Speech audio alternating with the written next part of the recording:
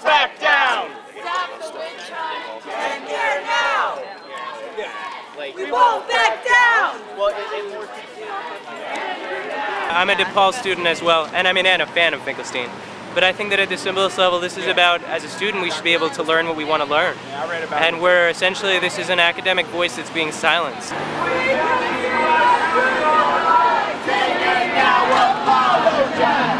Think the whole the situation is ridiculous. Um, I don't want professors on my campus scared to publish things because they might be controversial.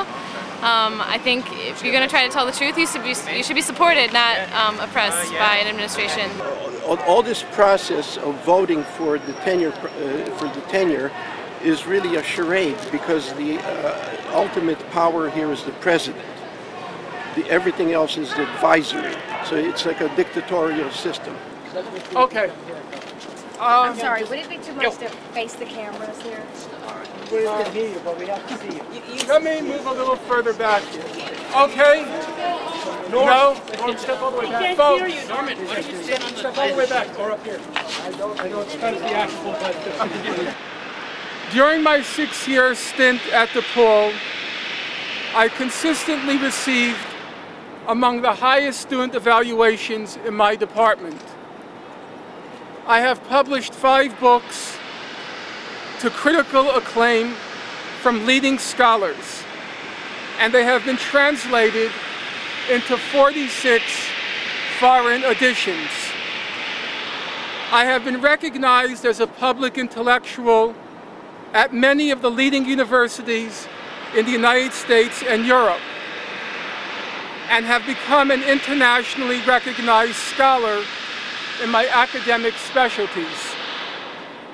Based on this record, I should have received tenure. It, it is now time for me to move on and hopefully find new ways to fulfill my own mission in life of making the world a slightly better place on leaving it than when I entered it. This is DePaul University's statement. Today we have reached a resolution of our dispute with Professor Finkelstein. As a part of that resolution, he has agreed to resign effective immediately. Professor Finkelstein is a prolific scholar and an outstanding teacher. The university thanks him. Too good for DePaul. Not true. The university thanks him for his contributions and his service. Both parties are satisfied with the resolution of their dispute and wish each other well in their future endeavors.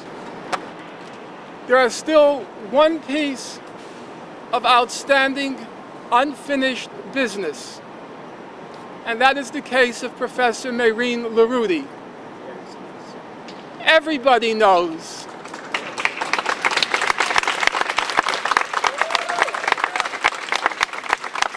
everybody knows it's not even a matter of serious dispute among rational people that the denial of tenure to Mehrene Larudee was political and it was a grotesque injustice. Not only as a general principle, but like myself, Professor Lu- Larudee is on the older side of the tenure track and to throw a woman, a professor, a scholar, and a genuinely decent human being, to throw her out into the street at this point in her life and her career is simply unacceptable.